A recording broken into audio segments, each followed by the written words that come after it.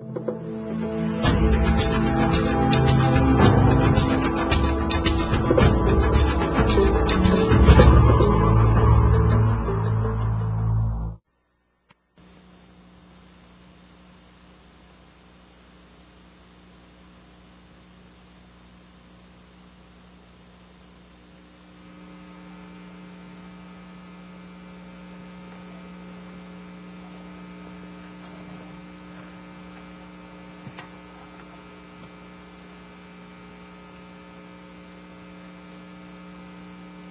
It's a tremendous privilege for me to be here this afternoon with you.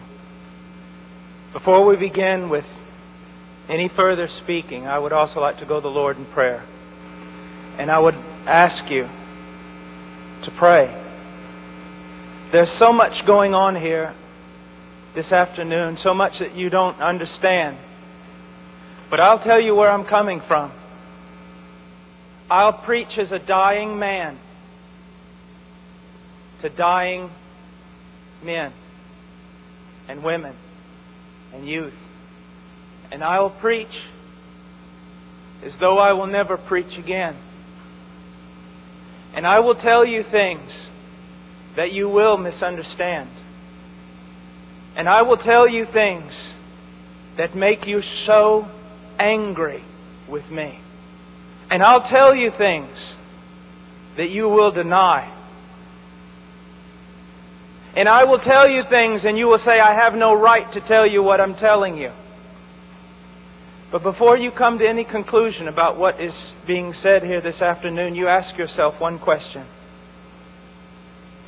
You see, preaching is a very dangerous thing. It's dangerous for me because the Bible says that false teachers will undergo greater condemnation. If what I tell you today is not true, I'm in a great deal of trouble and have every right to do this with fear and trembling because I will stand condemned before God. But if what I tell you today is true, then you're the one with cause for fear and trembling. Because if I correctly interpret this passage of Scripture that I'm going to give you, it is as though God were speaking through a man.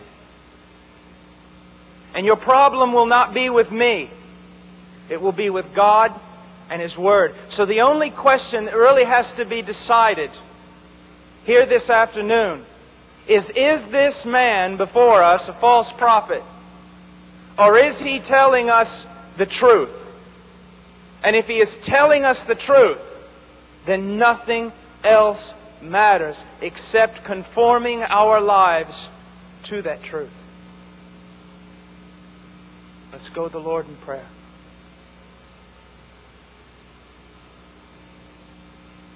Father,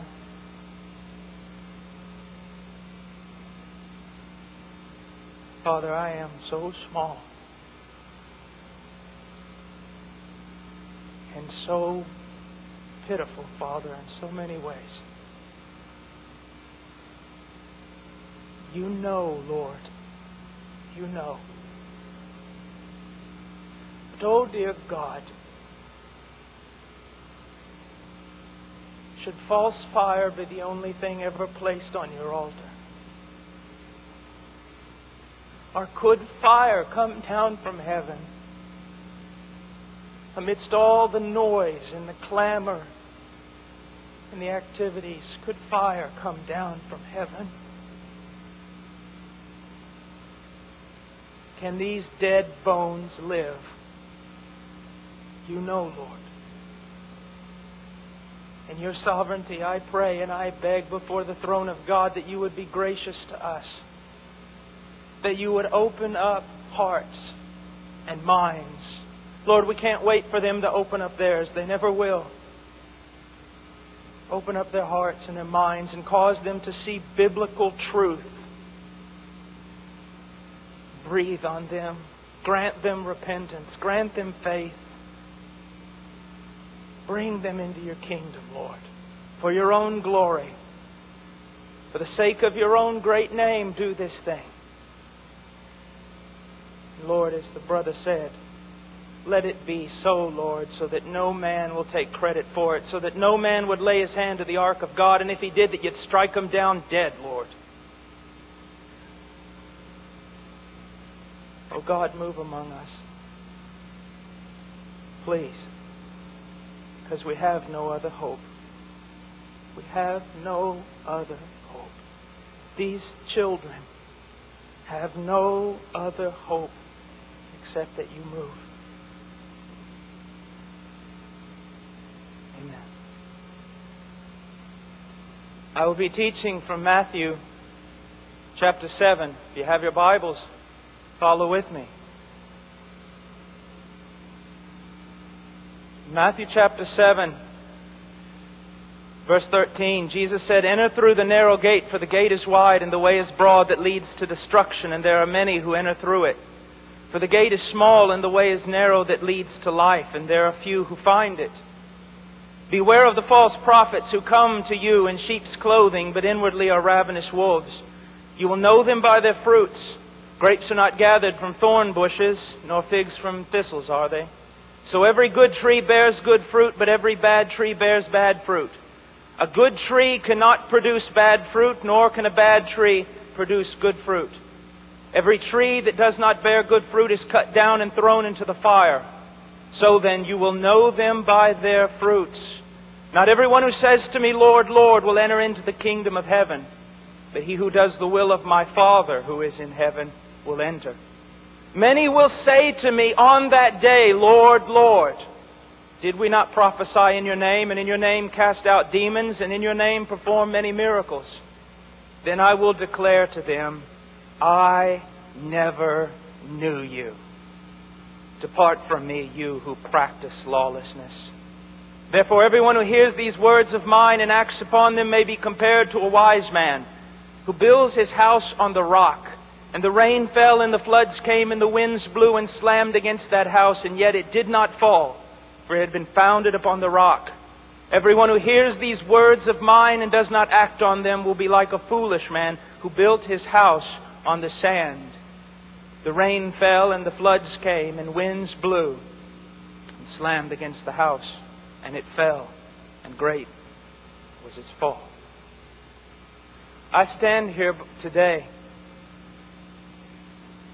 I'm not troubled in my heart about your self-esteem. I'm not troubled in my heart about whether or not you feel good about yourself, whether or not life is turning out like you want it to turn out, or whether or not your checkbook is balanced. There's only one thing that gave me a sleepless night. There's only one thing that troubled me all throughout the morning, and that is this. Within a hundred years, a great majority of people in this building will possibly be in hell. And many who even profess Jesus Christ as Lord will spend an eternity in hell. You say, Pastor, how can you say such a thing? I can say such a thing because I don't do my Christian work in America. I spend most of my time preaching in South America, in Africa, and Eastern Europe. And I want you to know that when you take a look at American Christianity, it is based more upon a godless culture than it is upon the Word of God. And so many people are deceived, and so many youth are deceived, and so many adults are deceived into believing that because they prayed a prayer one time in their life, they're going to heaven. And then when they look around at others who profess to know Christ and see those people also just as worldly as the world, and they compare themselves by themselves, nothing troubles their heart. They think, well, I'm the same as most in my youth group. I watch things I shouldn't watch on television and laugh about the very things that God hates. I wear clothing that is sensual. I talk like the world. I walk like the world. I love the music of the world. I love so much that's in the world. But bless God, I am a Christian. Why am I a Christian? I don't look any different than most of the other people in my church. Why am I a Christian? Because there was a time in my life when I prayed and asked Jesus Christ to come into my heart. I want you to know that the greatest heresy in the American evangelical and Protestant church is that if you pray and ask Jesus Christ to come into your heart, He will definitely come in. You will not find that in any place in Scripture. You will not find that anywhere in Baptist history until about 50 years ago. What you need to know is that salvation is by faith and faith alone in Jesus Christ. And faith alone in Jesus Christ is preceded and followed by repentance a turning away from sin, a hatred for the things that God hates, and a love for the things that God loves, a growing in holiness and a desire not to be like Britney Spears, not to be like the world, and not to be like the great majority of American Christians, but to be like Jesus Christ.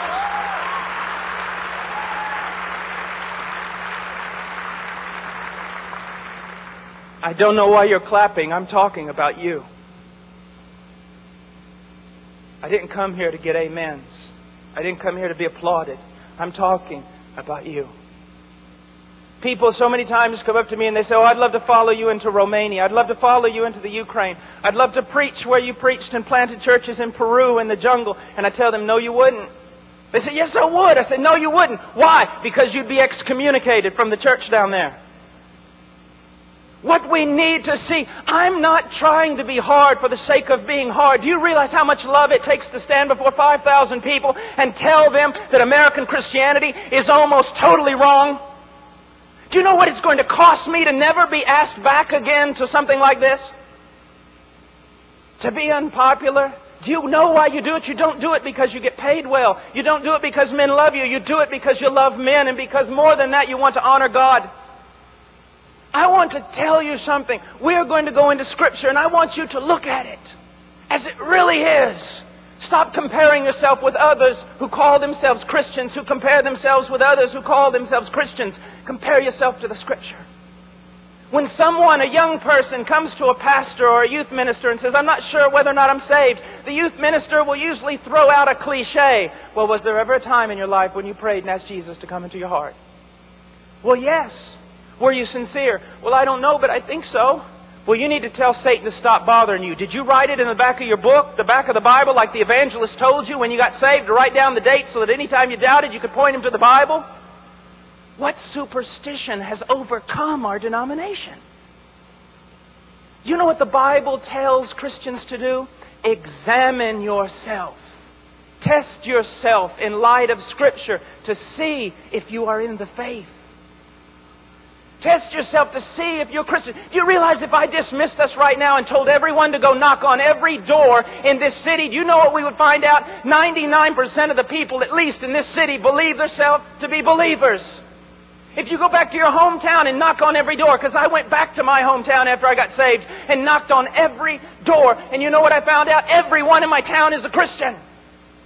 85% of them do not go to church, and those who do go to church are not concerned about holiness. They're not concerned about serving. They're not concerned about being separate from the world. They're not concerned about the gospel being preached among the nations. But bless God, they're saved. Why are they saved? Because some evangelist who should have spent less time preaching and more time studying his Bible told them they were saved. And he did it so that he could brag about how many people came forward in his next revival. I love you. And there are men here who love you. And I want to go into Scripture now. Now that I've shocked you into life, I want you to listen to me. Listen to the Word of God and begin to ask yourself some questions. First of all, enter through the narrow gate. For the gate is wide and the way is broad that leads to destruction, and there are many who enter through it. There is a narrow gate. And you know, historically, one of the reasons I'm a Southern Baptist is because the Southern Baptists have always been quick. When other denominations have failed to realize this, the Southern, Southern Baptists have always been quick to realize that there is one gate. There is one God. There is one mediator between God and man, and his name is Jesus Christ. It's not multiple choice. Not every road leads to Rome. As a denomination, we have always told people What Jesus told people, I am the way, the truth, and the life, and no one comes to the Father except through me. So I praise God for that, that the only way any human being on this earth will ever be saved is through Jesus Christ. And that is all. Because you need to realize the Bible says, For all have sinned and come short of the glory of God, and you have no idea what that means. That we were born radically depraved and God hating that we would have never sought God, never come to God. We have rebelled against God, broken every law. It's not just an issue that you have sinned. The issue is you've never done anything but sin. The Bible says in the prophets that even our greatest works are like filthy rags before God. And because of that, you know what we deserve? The wrath of God. The holy hatred of God. You say, now wait a minute. God doesn't hate anybody. God is love. No, my friend, you need to understand something. Jesus Christ taught, the prophets taught, the apostles taught this that apart from the grace of God revealed in Jesus Christ our Lord, the only thing left for you is the wrath, the fierce anger of God because of your rebellion and your sin. When I speak in universities, they're always quick to point out, no, God cannot hate because God is love. And I tell you, God must hate because God is love. You see, I love children, therefore I hate abortion. If I love that which is holy, I must hate that which is unholy. God is a holy God. That's something that the Americans have forgotten. Many of the things that you love to do, God hates. Did you know that? Pray for revival. You're going to have a youth meeting. You want God to move. But before you go there, you watch programs on television that God absolutely despises. And then you wonder why the Holy Spirit hasn't fallen on a place and why you have to create false fire and false excitement. Because God's not in it. God is a holy God. And the only way you and I could ever be reconciled to a holy God is through the death of God's own Son. When He hung on that tree. Now listen to me. If you're saved here tonight, you're not saved because the Romans and Jews rejected Jesus. You're not saved because they put a crown of thorns on his head. You're not saved because they ran a spear through his side. And you're not saved even because they nailed him to a cross. Do you know why you're saved if you are saved? Because when Jesus Christ was hanging on that cross, He bore your sin, the sin of God's people, and all the fierce wrath of God that should fall upon you fell upon His only begotten Son. Someone had to pay that price. Someone had to die. It was God the Father who crushed his only begotten Son, according to Isaiah 53. It says it pleased Yahweh to crush him. People say the cross is a sign of how much man is worth. That's not true. The cross is a sign of how depraved we really are. That it took the death of God's own Son the only thing that could save a people like us was the death of God's own Son under the wrath of His own Father paying the price. Rising again from the dead. Powerful to save. This is the gospel of Jesus. Now what are you called upon to do? You say you go through the narrow gate. How do you do that? Jesus said the time is fulfilled. The kingdom of God is at hand. What must you do? In Mark, he tells us, repent and believe the gospel. You say, Brother Paul, I got saved by praying and asking Jesus Christ into my heart, and I'm sure you did. But you weren't saved by a magic formula or some words you repeated after someone else. You were saved because you repented of your sins and you believed. And not only did you do that in the past, you continue to do it even until now. Because when Jesus, a proper translation of that verse he gave, is this the kingdom of God has come. The time is fulfilled. Now, spend the rest of your life repenting of your sins and believing in me. Conversion is not like a flu shot. Oh, I did that. I repented. I believed. The question is, my friend, are you continuing to repent of sin? Are you continuing to believe? Because he who began a good work in you will finish it. He will finish it. Now, we as Southern Baptists preach that you're supposed to go through that own, one and only gate, which is Jesus Christ. But we as Southern Baptists have forgot something. And I want youth ministers and pastors and everyone to listen to me. Parents, We have forgot a very important teaching in the gospel. It says that not only the gate is narrow, it says the path is narrow.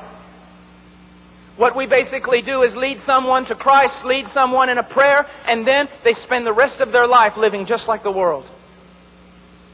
And if you deny me on this, I can bring the statistics to prove you wrong. Gallup poll, Barna polls, every kind of poll you can possibly look at, when it questions the morality of the church in America against the morality of those who claim to be lost in America, the polls find no difference. Now, that is statistics, has nothing to do with religious interpretation. Those are statistics. Book after book is being churned out by theologian and philosopher and, and sociologist alike. What has happened to the church? we find out that abortion in the church is just as prevalent as outside the, in the world. We find that divorce is just as prevalent. We find that immorality. You know as well as I do there are youth here right now who are practicing immorality and yet worshiping God in the same breath. You know there are youth here that are doing drugs and yet coming to youth group. You know, watching and doing things that are not appropriate for a Christian, and yet they're coming to the youth group, believe themselves satisfied, believe themselves saved, and no one is saying anything except this. They're carnal Christians. They're really Christians, they're just carnal.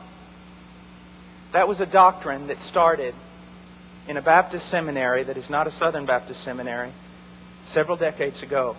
It is not biblical and it is not historical. My dear friend, there is no such thing as a carnal Christian. You say, now wait a minute, Brother Paul. 1 Corinthians chapter 3. Are ye not carnal? Paul said that. No. That's what Paul said. You need to read the whole book to find out what he meant. You see, one of our problems, youth, listen to me. Most of our Christianity is based on cliches that we read on the back of Christian t-shirts. Most of our Christianity comes from songwriters and not the Bible. Most of what we believe to be true is dictated to us by our culture and not by the Bible. The Bible never teaches that a person can be a genuine Christian and live in continuous carnality and wickedness and sin all the days of their life. But the Bible teaches that the genuine Christian has been given a new nature the genuine Christian has a father who loves them and disciplines them and watches over them and cares for them.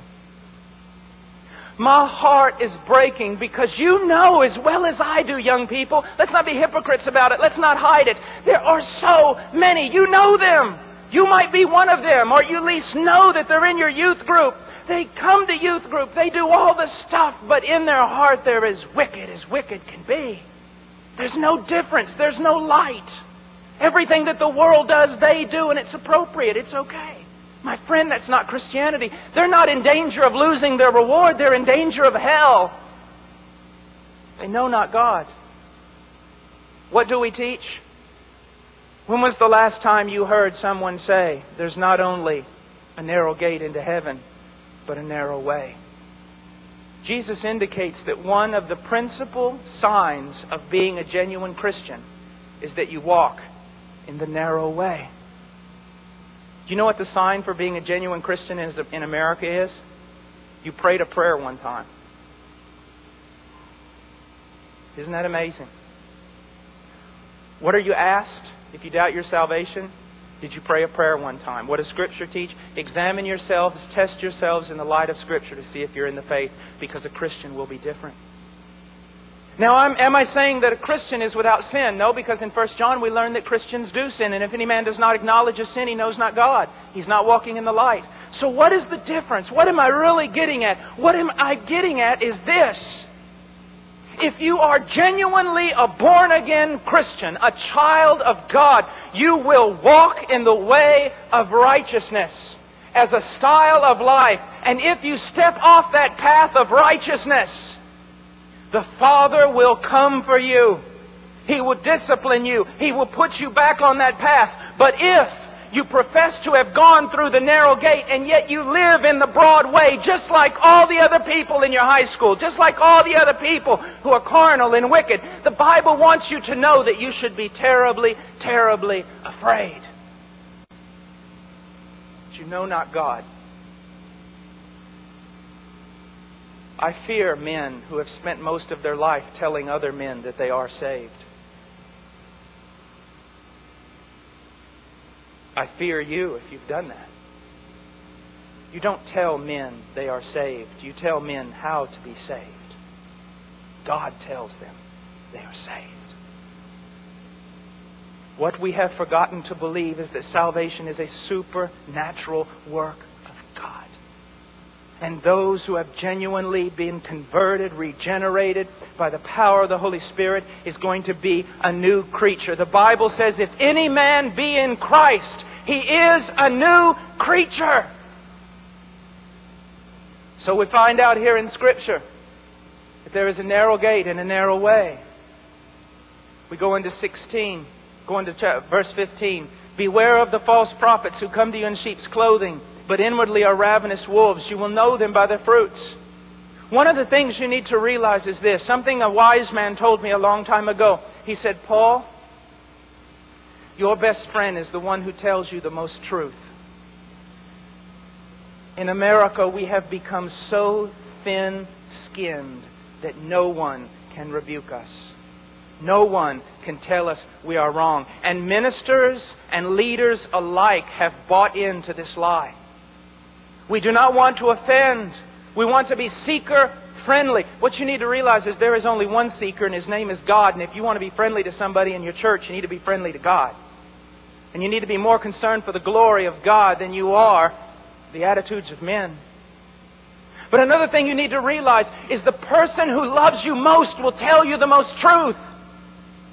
One of the greatest distinguishing marks of a false prophet is that he will always tell you what you want to hear. He will never rain on your parade. He will get you clapping. He will get you jumping. He will make you dizzy. He will keep you entertained. And he will present a Christianity to you that will make your church look like a Six Flags over Jesus. And keep you so entertained you are never addressed with great issues such as these. Is God working in my life? Am I growing in holiness? Have I truly been born again? Listen to me. If everyone in this town believes themselves saved, and we know that's not true by Scripture because the Bible says that few will enter in, how do you know that you're saved? How do you truly know that you are saved? Because someone told you? Because you prayed a prayer? Because you believed?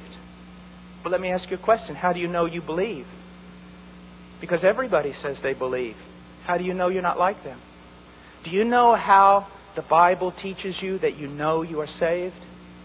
Do you know how Baptist theology up until about 50 years ago would have told you how you know you have been saved? You know you have been saved because your life is in a process of being changed, and your style of life is one of walking in the paths of God's truth. And when you step off those paths in disobedience, as we all do, God comes for you and puts you back on the path.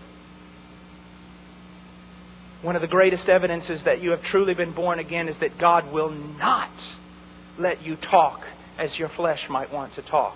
God will not let you dress as the sensual world and the sensual church allows you to dress. God will not allow you to act like the world, smell like the world, speak like the world, listen to the things that the world listens to.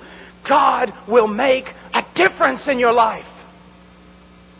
He says here, as we go on, verse 17, so every, or let's go to 16, you will know them by their fruit. How will you know a false prophet? In the wider application here in all of Scripture, how will you know if someone is a genuine Christian? By their fruit. By their fruit, my dear friend. Look at your life. Look at the way you walk. Look at the way you talk. Look at the passions of your heart. Is Jesus in there somewhere? Or is he just some accessory that you add on to your life? Is he just something you do on Wednesday or Sunday? Is he something that you give a mental assent to? Is he an accessory or is he the very center of your life? And what is the fruit that you're bearing? Do you look like the world, act like the world? Do you have and experience the same joys that the world experiences? Can you love sin and relish it? Can you love rebellion and relish it? Then you know not God. You will know them by their fruit. God has the power change them. Let's imagine for a moment Jesus teaching this passage. And you're sitting out there listening. And he looks at you. He says, Thistles. Thistles. Um, do you find thistles on, on fig trees? And you respond, Of course not, Jesus. I mean, you're not an agriculturalist. You're not a farmer. I mean, you're a carpenter. But I mean, everybody knows Jesus. You don't find thorns on fig trees? Well, well, then let me ask you another question. Do you find figs, good fruit, on thorn trees? Why, no, Jesus, that's absolutely ludicrous. I mean, you're never going to find thorns on a fig tree, and you're not going to find figs on a thorn tree. Jesus, to say that that could be possible, anyone who tells you that, Jesus, you can mark it down. They're either crazy or they're a liar. And then Jesus responds to you, Well then,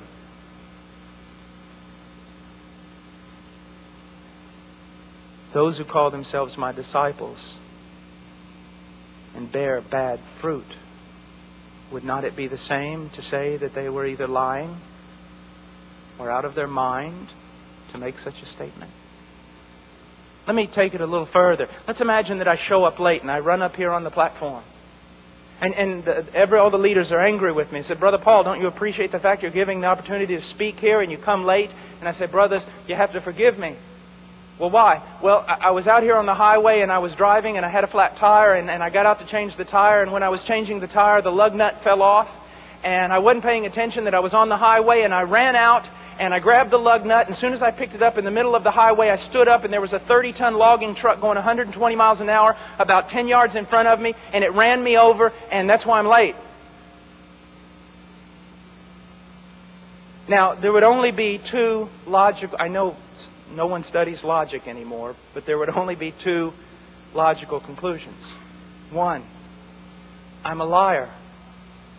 Or two, I'm a madman.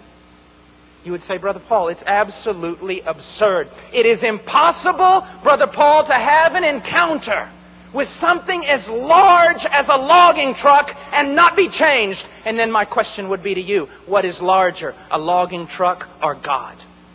How is it that so many people today profess to have had an encounter with Jesus Christ and yet they are not permanently changed? Let me give you a few things to think about. You know I'm telling you the truth. How many times do you go and rededicate your life over and over and over again?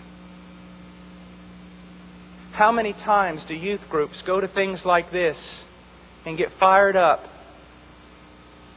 and go back to the church and it lasts about a week and a half? And yet, oh, it was a great move of God. No, it wasn't. If it doesn't last, it wasn't a great move of God. It was emotion. It was so many things, but it wasn't a great move of God. Has God worked in your life? Is God working in your life? You will know them by their fruit. You will know them by their fruit. Now we go on. Verse 19, every tree that does not bear good fruit is cut down and thrown into the fire. So then you will know them by their fruit. Look at this. You need to understand something about Hebrew literature. When you and I want to emphasize something, do you know what we do? We raise our voice. If we're writing, we put it in bold letters or we capitalize it. But to a Jew, it's different. When he wants to emphasize something, he repeats it, and he repeats it. That's why you find Hebrew parallelisms in the book of Proverbs. The wicked shall not live in the land. The wicked shall be destroyed. He's saying the same thing, just in a different way to give greater emphasis. That's what Jesus is doing over and over again here. You will know them by their fruit. You will know them by their fruit. You will know them by the path that they walk in. You will know them by their fruit. You will know them by their fruit. And he says, anyone who does not bear good fruit is cut down and thrown into the fire. What is he talking about? My dear friend, he is talking about the judgments of Almighty God that will one day fall upon the world. That will one day fall, possibly upon you. Oh, dear friend, I cannot look into your heart I am so easily deceived by my own heart. But there is one who is not deceived. There is one who is not deceived, and he's not deceived by a contemporary Christian culture. He knows. You will know them by their fruit. Then he goes on. He says this. Verse 21 Not everyone who says to me, Lord, Lord, will enter the kingdom of heaven but he who does the will of my Father who is in heaven will enter. Do you know what your profession of faith in Jesus Christ is worth? Absolutely nothing. Yes. Did you read that passage? Study it. Not everyone who comes to me and says, Lord, Lord, not everyone who professes, Lord, Lord, will enter into the kingdom of heaven. There are many people who are going to profess Lord, Lord, but they are not going to enter into the kingdom of heaven. My dear, precious child, are you one of them? Lord, Lord. Now, again, let's go back to Hebrew literature. He said Lord, Lord. He didn't say Lord. He said, Lord, Lord. What does that mean? This fellow who is making this profession, he is not someone who just all of a sudden decided it's judgment and I better profess him to be Lord. This is a person who emphatically declares to other people that Jesus Christ is Lord. He walks around saying Lord. He dances up in front while the musicians are playing saying Lord. He sings the songs Lord. But Jesus said to him, Depart from me, I never knew you. Do you know Billy Graham is one of the kindest, lovingest men. Yet Billy Graham has said he believed that a great majority of people who attend Bible believing churches are lost.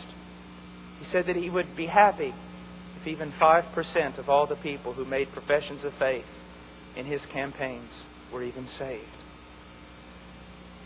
When I'm in Nigeria, I was there last year visiting a mother whose whose son was in our church and was martyred by the Muslims.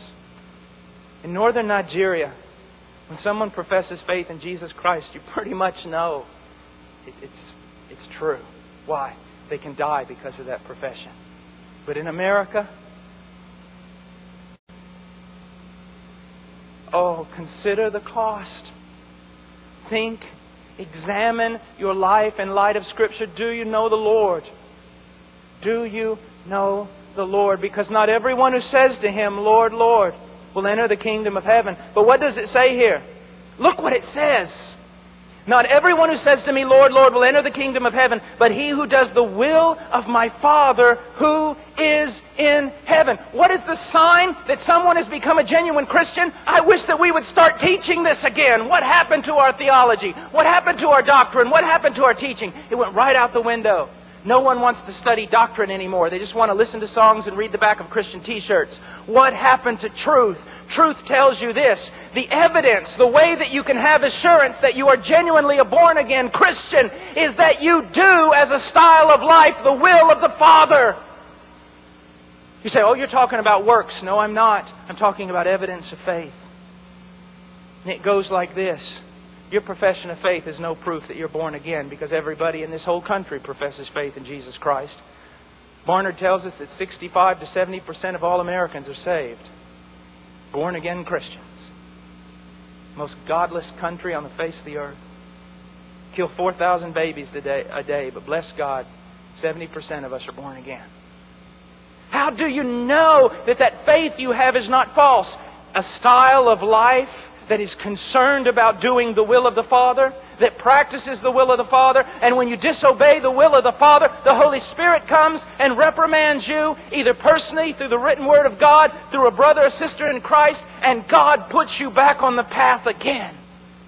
If you're a genuine Christian, you cannot escape Him. Let me give you an example. If I was your pastor, and you were, let's say, 14 years old, and I came back from preaching at 1 o'clock in the morning, and I saw you standing out there in a park or on a corner with a bunch of hoodlums doing things you shouldn't be doing, and you were a member of our church, I would tell you, get in the car. I would take you home to your father. I wouldn't be mad at you, I'd be mad at your father. I would tell him, Sir, you are a derelict father that you would allow your child to be out in such circumstances. I want you to know something. God is not a derelict father if you can play around in sin, if you can love the world and love the things of the world, if you can always be involved in the world and doing things of the world, if your heroes are worldly people, if you want to look like them and act like them, if you practice the same things they practice, oh my dear friend, listen to my voice. There's a good chance you know not God and you do not belong to Him. Now, bring this to close. Verse 22 Many will say to me on that day, Lord, Lord, did we not prophesy in your name? And in your name cast out demons, and in your name perform many miracles?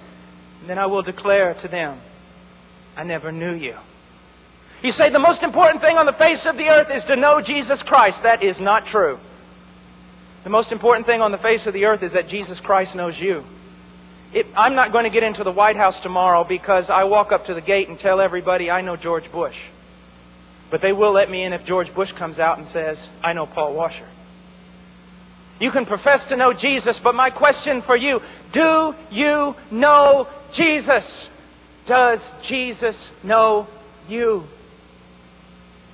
And look how he describes the lost man here. He says, Depart from me, you who practice lawlessness. In Greek, anomia. A negative particle, ah, not. Word nomos, law. No law. And this is what it means. Let me give you an accurate translation of this. Depart from me. Listen to me. If I could come out there and hug you while I was telling you this, I would. Listen to me. He says, Depart from me, those of you who claim to be my disciples, who confessed me as Lord, and yet you live as though I never gave you a law to obey. I just described a great majority of North American Christianity. If anyone starts talking about law, if anyone starts talking about biblical principles on what we're supposed to do and not supposed to do, how we're to live and not supposed to live, everyone starts screaming legalists. Legalists. But Jesus said, Depart from me, those of you who lived you called me Lord, but you lived as though I had never given a law. In American Christianity today, pass through the gate. Praise God. Live like the rest of the world, and it's okay. You're just carnal. Maybe one day you'll come back. Do you know what happens because of our bad evangelism? We have gazillions of children saved in vacation Bible school. When they hit 15 years old, they enter into the world and live like demons, a great majority of them. And then when they're around 30, they come back and rededicate their life. Maybe they just got saved. Because, folks, it's more than just telling someone you're saved because you acknowledge that Jesus is Lord. Satan acknowledges that Jesus is Lord. Is your life in a process of change? And then he drops down, he talks about two people, two foundations. Do you know what this passage in contemporary, see, it's important to study theology and it's important to study history. The contemporary interpretation of this passage about the rock and the sand is basically like this. If you're a Christian, you need to build your life upon the rock. Because if you build your life upon the sand, you'll be an unhappy Christian and your life won't go right. That is not what Jesus is teaching, and history backs me up on it. It was hardly ever interpreted that way.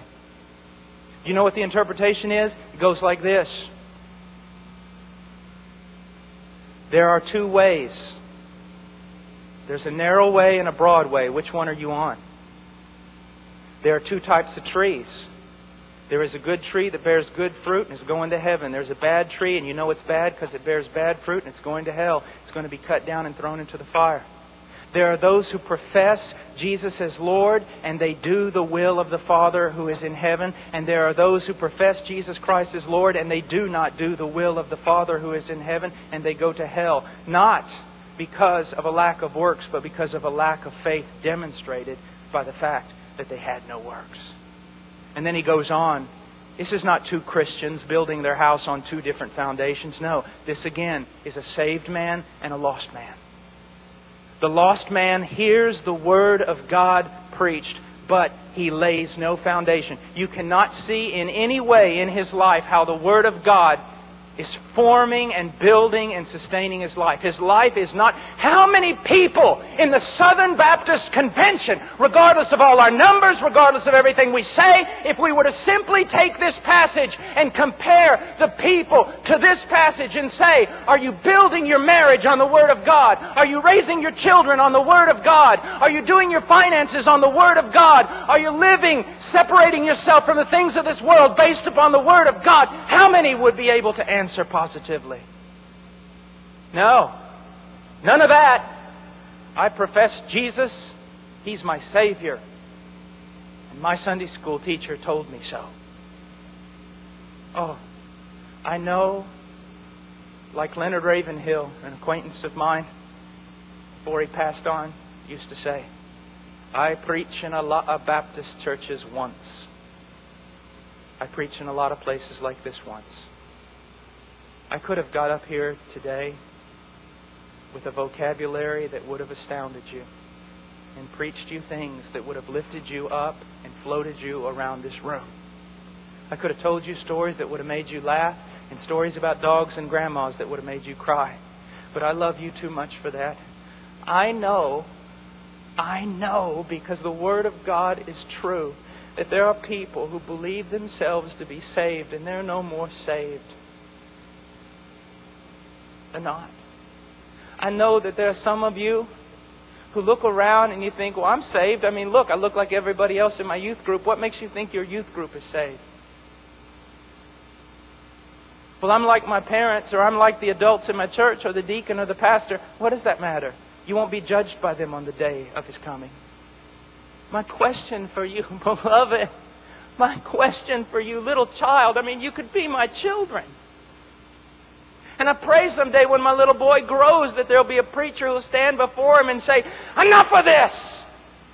Let's get down. What does the Word of God say? How does your life stand in front of that blazing fire, which is the holiness of God? On that final day, beloved, precious little girl, beloved, precious young man, on that final day, will your confession hold true? Are you saved? And I'm not talking about, well, I think I'm saved. You know, there's a way that seems right unto a man, but it leads unto death. Well, I feel in my heart of my hearts that I'm saved. Well, let me ask you a question. Did you ever read that the heart is deceitfully wicked? Who can know it?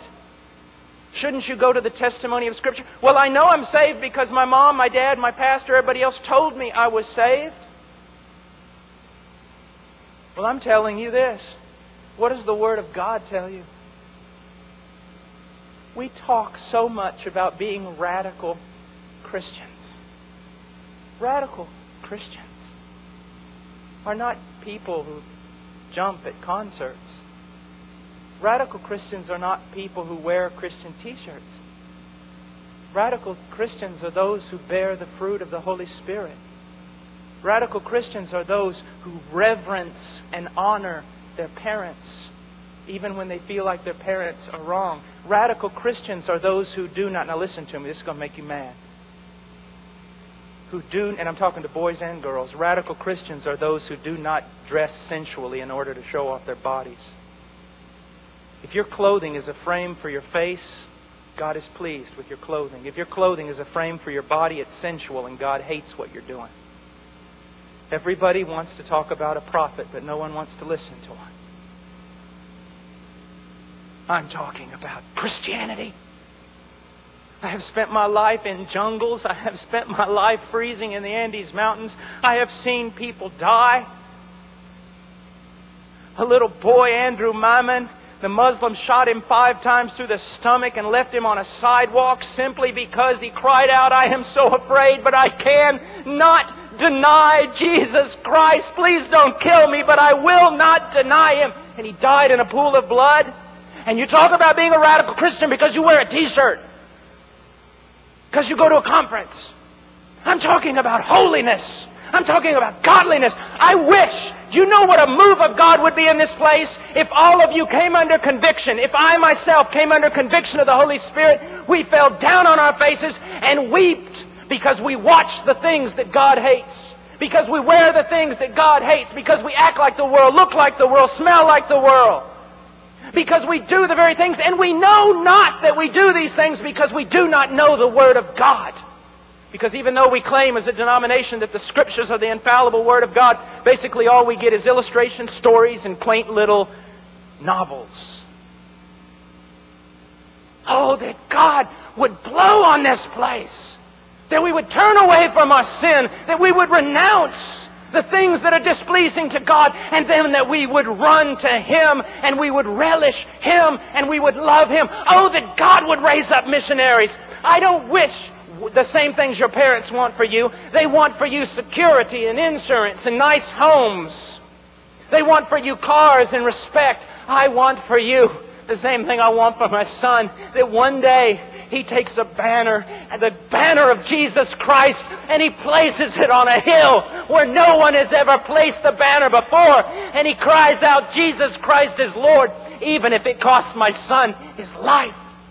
Oh, when he's 18 years old, if he says to me the same thing I said when I was a young man, I'm going into the mountains. I'm going into the jungle. And they say, you can't go there. You're insane. It's a war. You're going to die. I'm going. When that little boy puts on that backpack, I'm going to pray over him and say, go. Go. God be with you. And if you die, my son, I'll see you over there and I'll honor your death. Oh, God. Let's pray. Let's pray. Oh, God. I don't care about reputation. I don't care what men think. I want you to be honored. I want, I want these young people to be saved. I want those that are saved to stop looking around them at a cultural Christianity that you hate and will spew out of your mouth, and that they will look at the Word of God and say, I will follow Jesus. Oh God, I pray for youth ministers and pastors, and I pray that you'd fill them with a spirit of wisdom and love and boldness and discernment. And dear God, whatever the cost, I pray that you would raise up missionaries I can't help but look at these kids and think of my own little boy.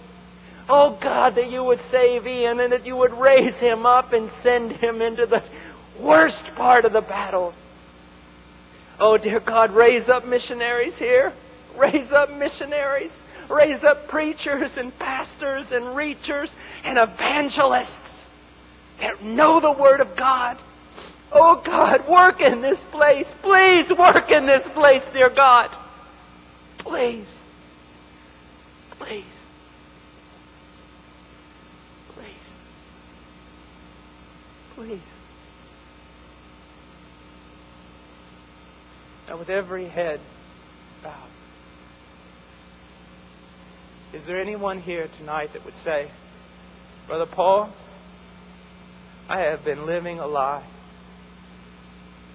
I claim to be a Christian, but I love the world and I look like it and smell like it and I hate myself for it. And Brother Paul, I am so tired of this Christianity that I'm living. I'm just sick of it. I'm just sick of it. I want to be saved. I want to be saved. Just want you to stand up. Brother Paul want to be saved. Amen. Is there anyone else? I want to be saved.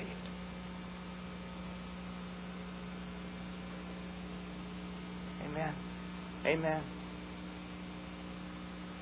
In a moment, we're going to have an invitation. Those of you who stood up, I'm going to come down here and I want you to meet with me. I want to talk to you. Now,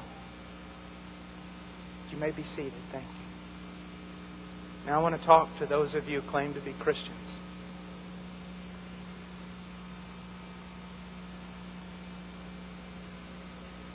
Does your life honor Jesus Christ? Are you looking in His Word to find out how you're supposed to live?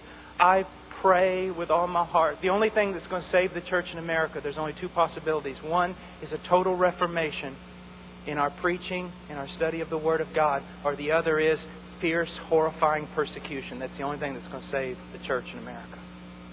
Oh, I pray I pray that you would return to the Word. I pray, listen to me, young person. You, you need to know. You need to say, okay, how am I supposed to live before my parents? Go into the Word, find out, obey it. How am I supposed to dress? Go into the Word, find out, and obey it. How am I supposed to talk? What am I supposed to listen to? Bring every thought, word, and deed into subjection to Jesus Christ. Now, I'm not going to ask you to stand because I am so tired of people coming forward to make those commitments, and those commitments last in two minutes. I'm not here so that I can write up in my magazine that a gazillion of you came forward. I want you to go home, and I want you to live for Jesus Christ with all your heart. But if you need counseling, you say, Brother Paul, I want to. I want to live for Jesus Christ, but I don't know how. I don't know how in a minute we're going to give an invitation. I do want you to come forward. Not to make a commitment. You want to make a commitment? You make that commitment right where you're seated. You need to tell somebody, you go tell your pastor. You go tell your youth minister. And you know what? We'll know if that commitment lasts. You know how? Because it will last. We'll know if it's from God. Let me tell you something. For everyone who's here right now, I want to tell you something. If you made a decision to follow Jesus Christ, if you made a decision to get saved in these last two days, I want to tell you something. If it was genuine, it will last. If after a few weeks you go right back into the world, live like the world, act like the world, I want you to know something. You didn't get anything here this weekend. You got emotion. That's about it. If you really got something from the Lord, I want you to know something. It will last. And even if you try to run away from it, you won't be able to do it. You won't be able to do it. Oh, I love you so much. I love you so much. I would ask that we all stand. If you need counseling about a decision that you have made, but it's not clear, I want you to come forward. And I'm going to come right down here. Those of you who stood up, there were many of you over there who, who say, I need to know Jesus Christ. I want to come down here right now and I want to meet with you and I want to go back over here with you and some other counselors and I want to talk to you and I want to tell you something. Not a five minute deal, not a ten minute deal. If you need to talk all night, we will stay. That is the attitude of every counselor in this place. It'll stay all night if necessary. All night. God love you. God love you. Let me pray for you. Dear God, please Lord, there has been so much movement. Last night, Lord, I don't know how much of it was real, but I know that I saw people last night weeping. I saw people trying to make commitments, and I believe that there was a great deal of what happened last night was of you. I saw this morning a young man preach, Father, give his testimony, and I saw real working the Holy Spirit. I don't know how much of all the decisions were real, but there was some real things going on. And I pray right now, Father. I don't know how much will be real. Only time and eternity will show us that. But oh, dear God, please, please work. In Jesus' name.